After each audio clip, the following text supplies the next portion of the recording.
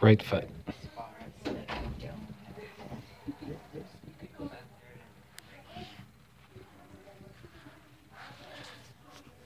Surgery in about 25, 30 minutes.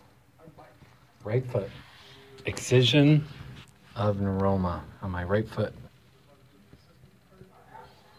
Wish me the best.